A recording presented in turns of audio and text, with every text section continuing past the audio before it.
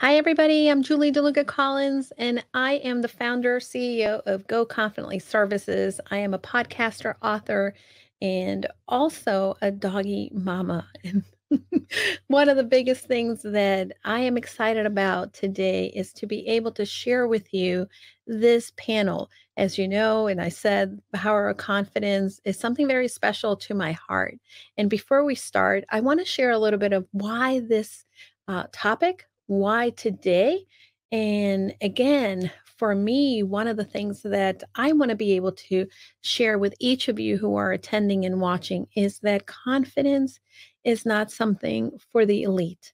It is for all of us. It is something that is available to all of us so that when we feel that confidence and passion, we can go out there and create a ripple effect, not only in the lives of those around us, but also for ourselves because ultimately, when we show up in the world as the best version of ourselves, then our impact is greater.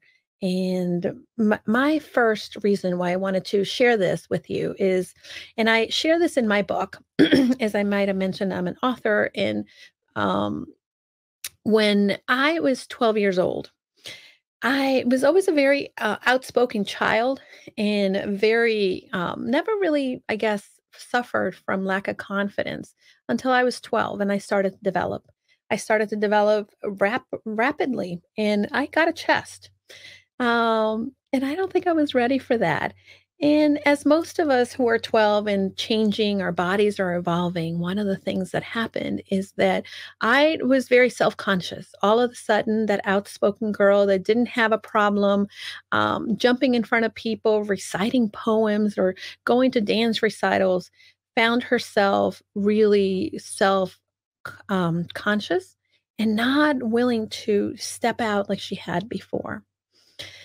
So, this particular day, though, in 1980 something, I lived in Miami and I was so excited because I was going to hold my head up high for a change. I was walking to school because I couldn't wait to get to school.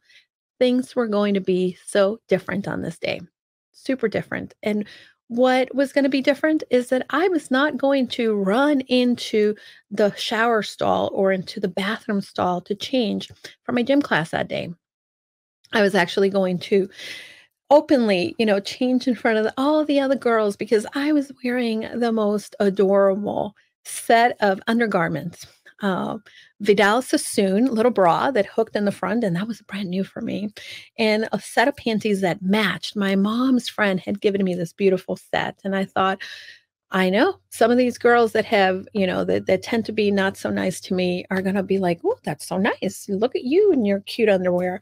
Um, and again, I was so excited to change and I put on my gym uh, clothes and I went out to the field and I'm standing there and I'm standing out proud and all of a sudden, I noticed that these girls were staring at me and doing the, you know, the pointing thing. And little did I know that when you are out in the sun and you are wearing a white t shirt, like it was our shirt for gym, that things are pretty transparent. And that sheer um, fabric that the cups of my undergarments were made out of um, all of a sudden we're showing everything.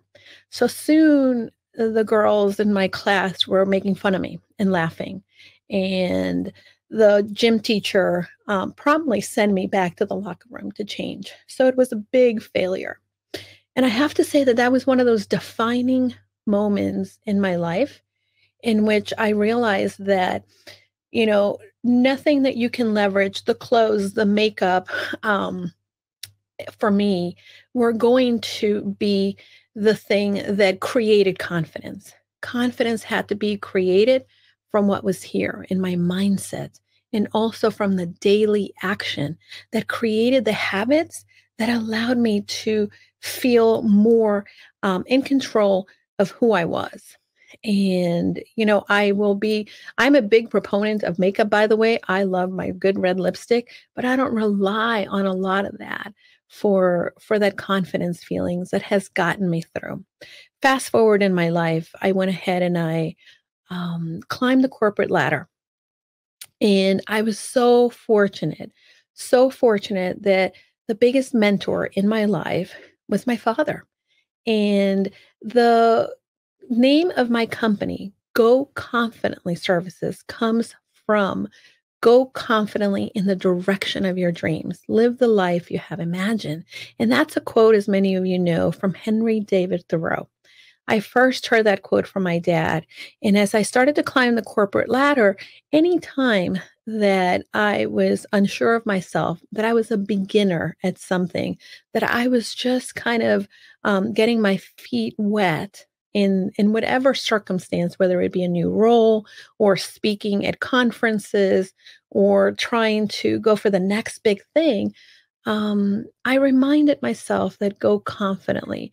But with every new beginning it meant doing the daily action doing the daily thing to practice to become better.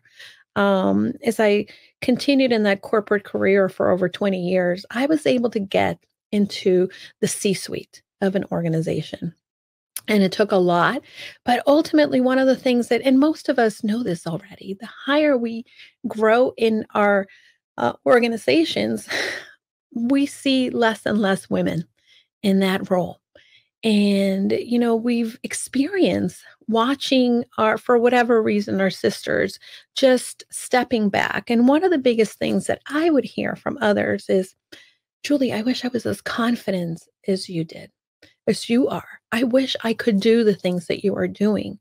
And even now, my biggest response to people is that I don't always have it together. I don't always feel like an expert at something. But what allows me to show up confidently forward is that I keep trying, that I understand that um, it is a process, that it's something that we continue to work at.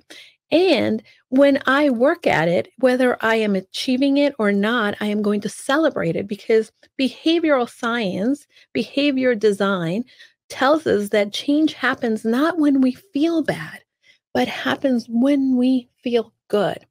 And again, you know, I was lucky enough to have a father that believed in me, that helped me believe me in myself. But now I want to pass on that belief to others.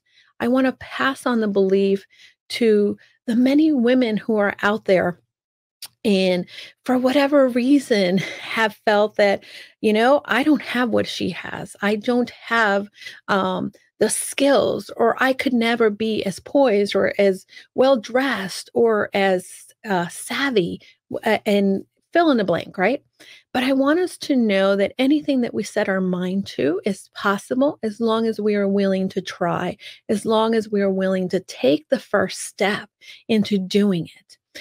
You know, I remember that after that fiasco as a 12 year old, I did not go back into hiding in the shadows uh, of the bathroom stall.